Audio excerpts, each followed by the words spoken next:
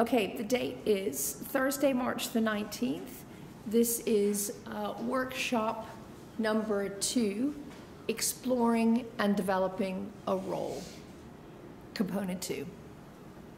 Okay, Marion, we get started. So, can you share a fact and a lie, and we'll try to identify which one's which.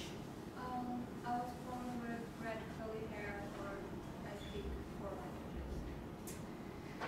Right, Ben, what do you think is the fact and which is the lie? So that's the fact, and the red curly hair is the lie. Okay, which one's the fact and which one's the lie? Um. Is the truth. Yeah. Right, so what four languages do you speak? Um, Georgian English, Russian, and Arabic, Georgian, which is Hebrew. Right, okay. Joseph, over to you. Right. I usually hang out in the canteen, or I once rescued a bird that hit my garage and had brain damage. Right. I hang out in the canteen. Okay, so Ben's, Ben, right, so Ben's in the know about this. George, what do you think? Which one do you think was the lie and which one was the fact? I think the lie was he spent the canteen the one that was the Okay, so was he right? I, I didn't hear what he said. So he said that he thought that the truth was the bird and the lie was hanging out in the Oh, I canteen. thought that was good. Oh, you got it right. Okay. I was like, You hate I that know, word, but- but in the bed. no, but I, I thought that you, because you don't really pay attention. Like, I don't people don't. what do you mean? You made yourself known. Right, okay, Neil, over to you. A fact and a lie. Can I pass? Yeah, sure, we'll come back to you. Archie? Uh, I have a dog. And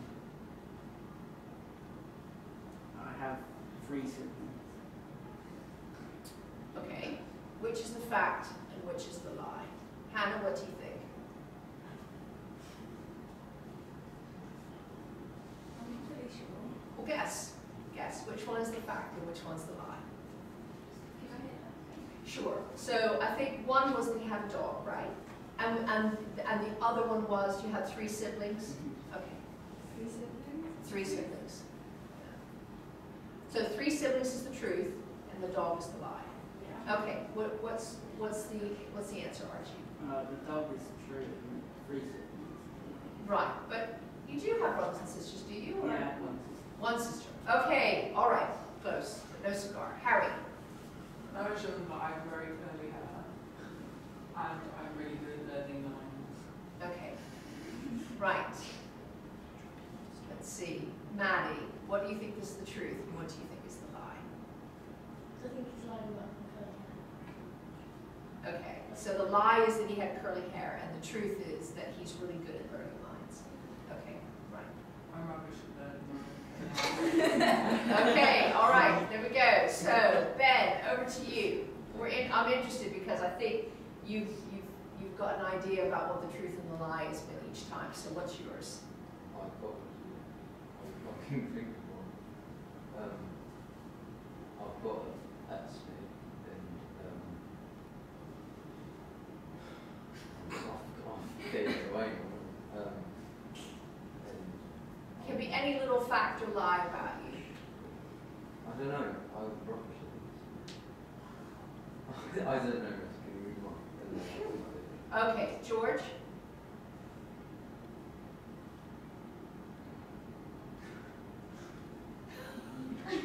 Something that's a fact about you. Where do you live? I tell you what, tell the truth for where you live and then make up a lie about where you live and we'll try to guess which one it is. And you don't have to give us a house number or anything, just like a town would be okay. So we don't kind of, you know, track you down or anything. I live near the school and I Okay, so does George live near school or does he not live near school? Which is the truth, which is the lie? Thomas, what do you think? What's considered near school? Well, say maybe within walking distance, or he lives a long way away. You think he lives close to school? Okay, which is the truth, George? I live close to school. Just, like, just stay with past the field. Fine, okay, all right, so, got it right, Thomas, thanks. Maddie, yours? I have five dogs and I have seven siblings. Right. Neil, what do you think the truth is? Um, seven dogs. No. I think it was, I think it was five, that, that's all right. Five dogs, seven siblings. Seven. So there are eight of you altogether. Wow, eight. There used to be a television series in the States called Eight is Enough, and it was about, it was about eight, a family of eight kids. Right, okay, all right. So what, just out of curiosity, how old is your oldest sibling? Okay. Cody? Um, it runs in my family to have unknown medical histories, or um, my mum is the only one with an unknown medical history. Okay, so everybody's got unknown medical histories, or just the mom has got unknown medical histories. So when you say that, do you mean like she or they don't know, like their parents, or they don't know? Um, they don't know what it is or who gave Fine. runs in the family that- Okay, so there's a family history of medical things, but is it just the mom, or is it the family as a whole? Ben, what would be your guess? I was, I was hoping it was the histories. Could you give us an example? Um, so um, with my sister, she um, would have gotten it from either my mum or my nan. Yeah. So it had been being around and and passed to her. Right, but what is it that she's got? She has a um, lung disorder, so only one of her lungs work. Oh, okay, okay, so there's like medical, so, okay, so, so me- like a medical problem, would that be just the mom or everybody in the family? We don't know the answer, Ben, just guess which one. Uh, she's, um, Which one? The mom or the family? Oh, um, uh, um, no, her mum. Okay, is it just the mom or is it Is that everybody? Wow, okay, Natalie, over to you. um, Well, no, it's a guess, well, nobody knows, that's why we're trying to guess, yeah. She's true. She's telling the truth. Um, I have three guinea pigs, or my dad has five children.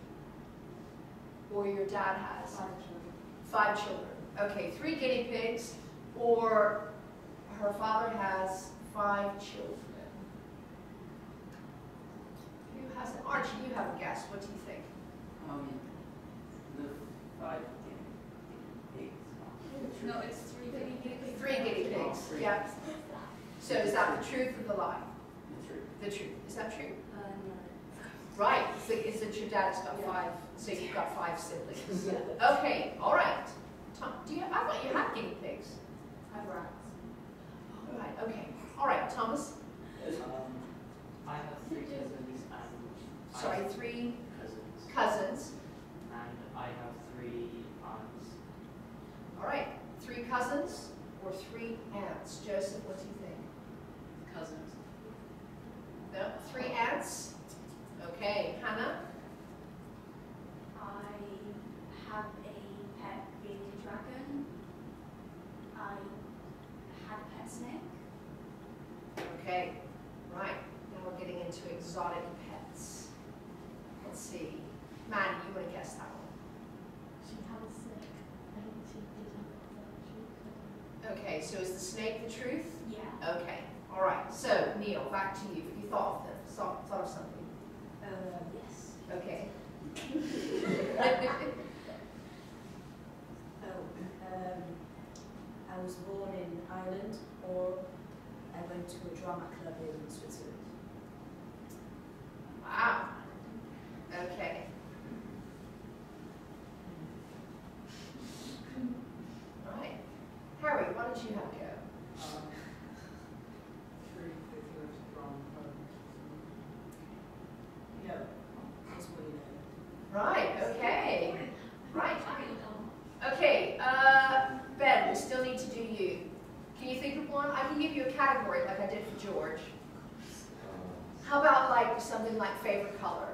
Tell the truth about your favorite color and tell the lie about your favorite my color. favorite color is uh, blue, and my favorite color is red. Okay, all right. What do you think? Um, third one's right. Okay. Yes, is that true? Okay, brilliant. Now, thank you, everybody. Now, that's quite a long sort of intro into truths and lies, but in a way, that's what we're going to be discovering about our characters, okay? So, let's go ahead and make a start into the workshop section, okay? All right, so what we're going to do now is we're going to use some hot seating with the characters that we have been cast as. So you'll need to think about the roles that you've been given. Terry Dumpton, Sammy, Kathy, Kate, uh, sorry, Kathy, Kay, Mrs. Dumpton, all of the characters that we are. And we're going to need to find out more about those characters. Now, some of those things we have are facts. We have some facts about our character. And Harry, do you remember what we, what Stanislavski, what the, the phrase was that Stanislavski had for facts about a character, the facts that you can't change? Begins with a G, and there's two words.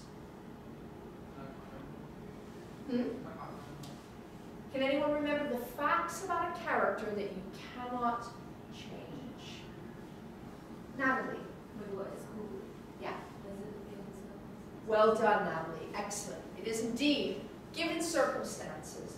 Those are the facts that we cannot change. So, for example, Mrs. Dumpton is a married woman. She is married to Mr. Dumpton. That is a given circumstance. It's a fact that we can't change. Now, how happily married they are, whether they are a good couple, whether she feels quite a lot of pressure to provide for the family because her husband's out of work, all of that's interpretation, okay? So well done, Natalie, that's excellent. All right, now, um, I'm going to divide you roughly into small groups based on your characters, okay? So if you're playing an adult, i.e. Mrs. Dumpton, Mr. Dumpton, uh, police officer, head teacher, etc. Can I have you, um, how many people are adults in this play? Bless you. Okay. One, two, three. Okay, right. So, can the three of you, can um, Thomas, can you grab a chair, please? And can we um, have you kind of over there by the heater, please, um, for those of you that are playing adults, all right? And those of you who are playing children or gang members, that's everybody else, right? So, um, I tell you what, let's go, can we put Les, you're Leslie, aren't you? Can we put Leslie over here with them, because you'll be part of the Dumpton family, okay? And then we've got, um, Terry, Sammy, Stubbs. Right, okay, so, um, can we have one, two, three, four, five? Can we have you working in a group? And the three of you, can we have you working in a group? So each group will need one chair. Can you choose one person to sit down on the chair for me, please? Yeah? You sit on the chair Boys, can we move you right about here, if that's okay, yeah?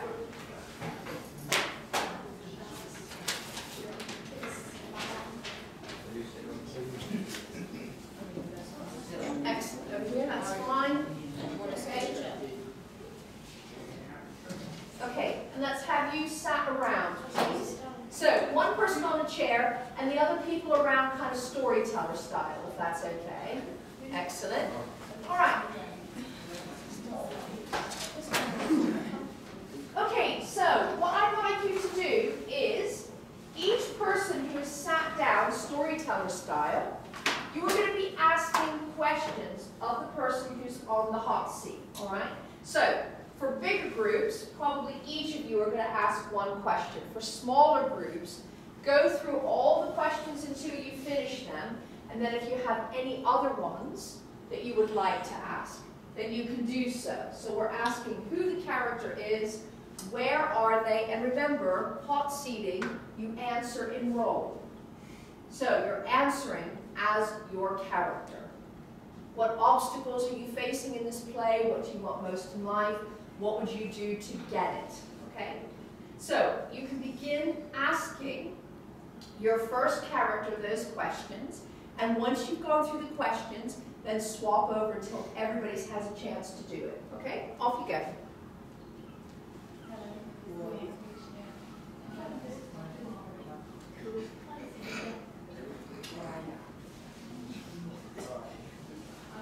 Where are, where are you? How do you feel about where you are?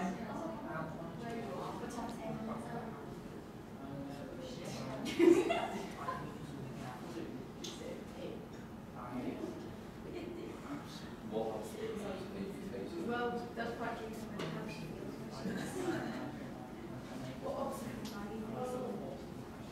In this place? What do you most want in life?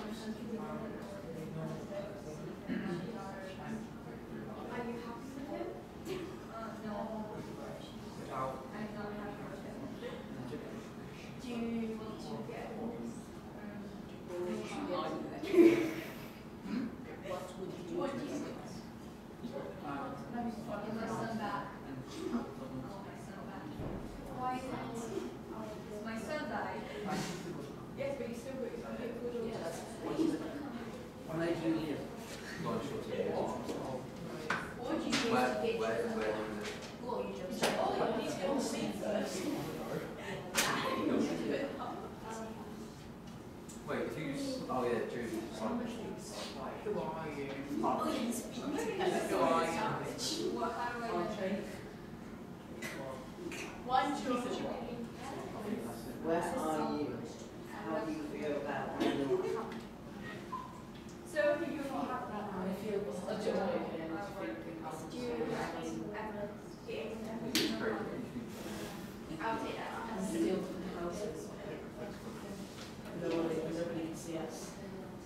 Who is your favourite? What obstacles are you facing in have you What obstacles are you facing in your life?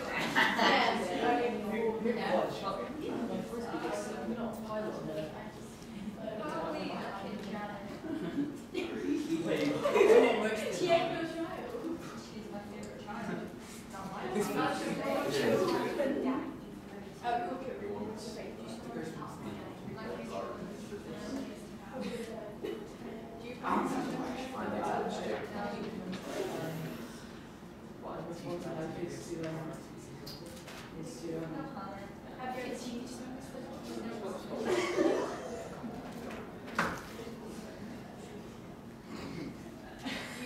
Cheers. What would you do? Yeah, yeah. So once you've done answering questions, then you swap over, so everybody's happy. How you feel it's How, how would you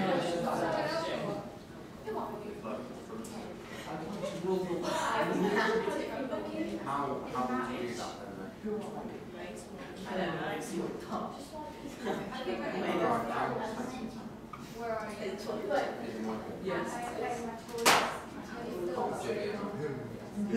Yes.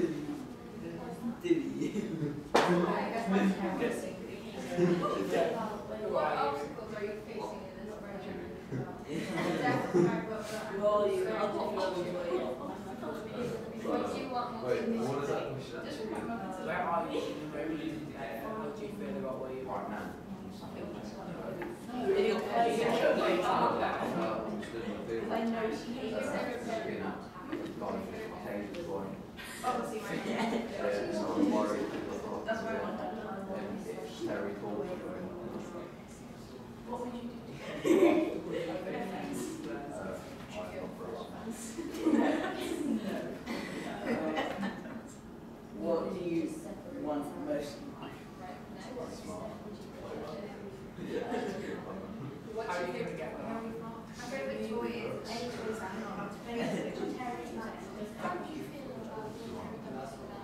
And then.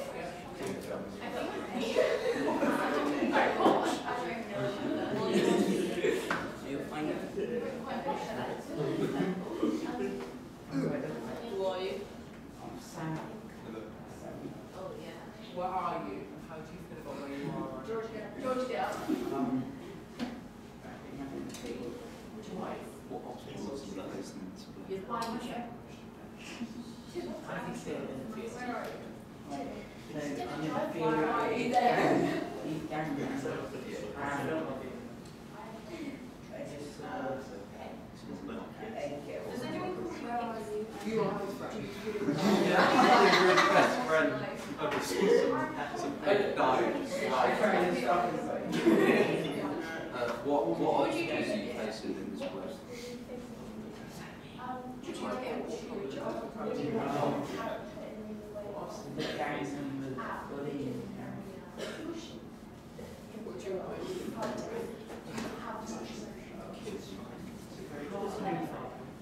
Ben, can you not do, Ben, can you not do that with your script, please? Do you, Have you not?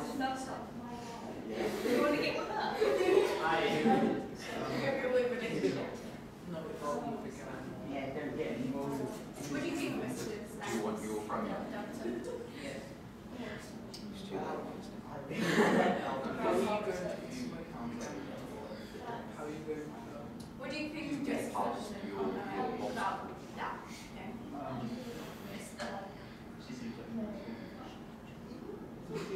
Think it's a relationship. yeah, I think, uh, Right, what's that? yeah, how we get to. Cheers, Susan.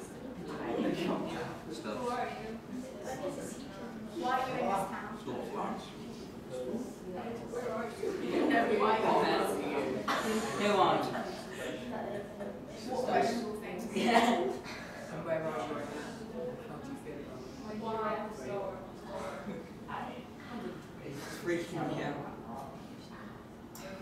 I don't know, why did you run this so? Straight from the bottom. Why did, because you don't have a job, so why didn't you just get a job? You're too Why you so lazy? Why do you why do you? What, obstacles are you facing in? Even why do you you know, I think these are really great questions about giving you a house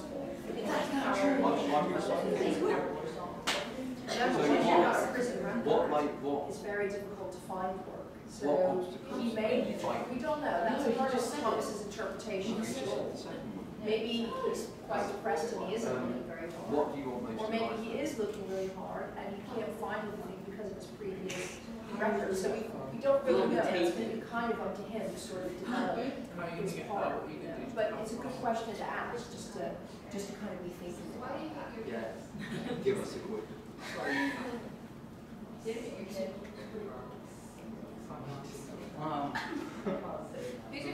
Right, okay, um, so, can we, can we draw our hot seating to a close? I know we may, because we've got slightly different group sizings, we may not be all kind of at the same place, okay? Can we come back to our circle, if that's all right? And if you could put your chairs back, if you, if you were, um, using that, thanks. And for the rest of us, let's have a look at the questions. What did we discover through hot seating? And how do we add this into our component two performance? How does this deepen our understanding of the characters? Because that's what we're trying to do. We're trying to develop our character and deepen an understanding of what we are working on. Okay? All right. So, um, Hannah, I wanted to ask you because you really stood out to me in that session because you were asking the questions on the screen. But then you were asking really insightful questions based on the answer that you got from the character. And that's kind of the very best case scenario of hot seating. You ask somebody a question, what do you want in life? I want to be king of the school. I want to be more powerful than than the teachers. I mean, Stubbs might say something like that. And then my question would be, well, why? Why do you want to be more powerful than the teachers? Why do you seem to hate everybody so much? And then perhaps we can find out a bit more about what Neil is thinking of for the reasons that are driving his character, okay? All right, so what did you discover through hot seating, Hannah, when you were asking? You could just choose a character, but I wanted to start with you because you asked such excellent questions. Well, Mrs. Dumpton is very happy in her marriage. Okay, all right. And did she say anything about why she's not happy? Because she has to. Okay, and she's, and she's the one, she's the only one who is working, right? Okay, all right, and that could put a lot of pressure on things. So, then the question becomes for Mrs. Dumpton, how would you begin to add this into your component to performance? Think of that scene between Leslie and yourself and Terry. And and you're running late for work, you're, you've been late several times before, Terry's coming home later and later from school, you're trying to wait for him before you go to work, you're feeling more and more pressurized. You're worried about him, what if you get fired, nobody will be in work then? You know, it's, it's something to think about, how that would add to the interpretation of your character, okay?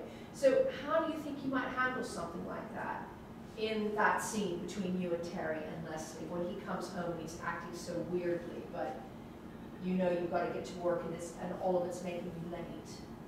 Show my frustration, like I'm stuck, I will be frustrated and not in real life in a place, and just show that this, I'm doing this, not so I have to be frustrated as well. Yeah, okay, and it's not only frustrated, I mean, it's, it feels like it's pressure from a lot of different, your character's coping with a lot, really, a lot.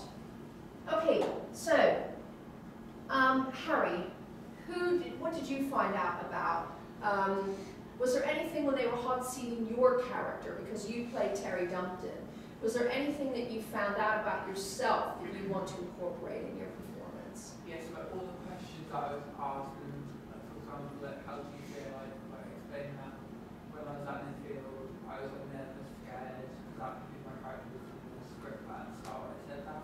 So all the questions I've been asked, they got put into mind in that scene, everything you know, you just learn about a character. So that kind of fear, but he's not very fearful at home. What emotions do you think you're showing mainly at home? Thinking about when you're smashing your models because Leslie wants to play with them. Um, I think he's furious angry because everything that's happening in school, he let Alexander run. Exactly. You know, he can't do that at school, but he's so furious about the way that he's being treated for really no reason at all other than he's new. Okay? All right, so that's just some examples of how questions can develop characters and how answers can help us think, ooh, I'd like to put that in this scene. All right, so let's kind of see where we go with this, okay? All right, now, now that we've made some decisions about the interpretation of your role, and you've been asked some questions and you're thinking about it, we're going to apply these decisions in independent rehearsal, okay?